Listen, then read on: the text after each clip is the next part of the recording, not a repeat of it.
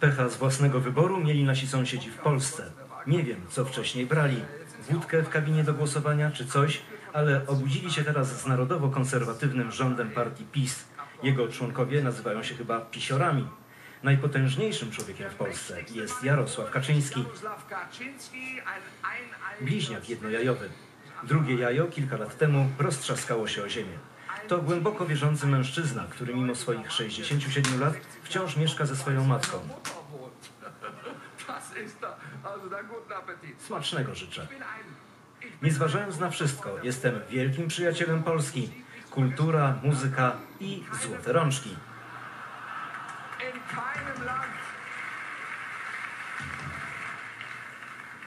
Widzę, że też korzystaliście z pomocy polskich hydraulików.